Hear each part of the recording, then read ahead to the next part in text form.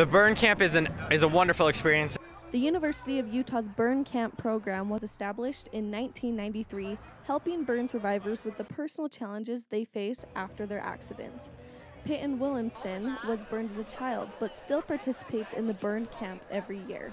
It's a way to get kids who are burned kids to open up, to not be as scared of their scars, to be more proud of them. Makes them a lot happier. For several years, Utah regional firefighters have come together for a friendly chili cook-off competition. Hey, there's no crying in baseball and no chicken and chili. Get your beef chili here, beef chili, red hot chili. It's for the children. To raise money for the burn camps. Scott Wilson, firefighter and EMT, was the genius behind the Sandy chili recipe. And it's a lot of fun to bring chef level caliber to something as, as good as this. The University of Utah currently runs five different programs geared towards specific age groups ranging from four years old to adults. These camps provide a safe environment for survivors to talk freely about their burn experiences.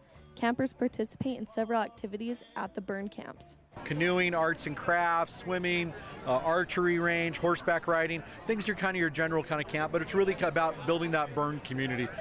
Dealing with a burn is a lifelong struggle. My entire back's still burned. I've still got scars on my arms from it. These camps bring burn survivors together. Sam is just one of the survivors who understands he is not alone. It's, it's good to find other people that have went through the same injuries